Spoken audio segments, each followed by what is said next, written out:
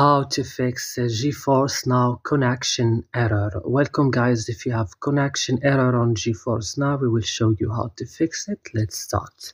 Open guys the settings of your phone, click on apps option and search for GeForce Now and click.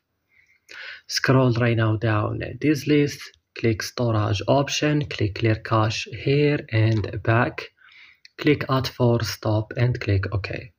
Now guys, you have to turn on your airplane mode, turn off it then and guys, uh, restart your device and that's all.